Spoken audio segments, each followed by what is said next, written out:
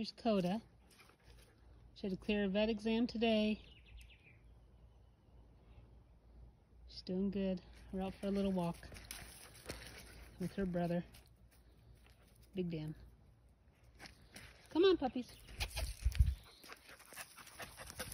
Come on, Koda.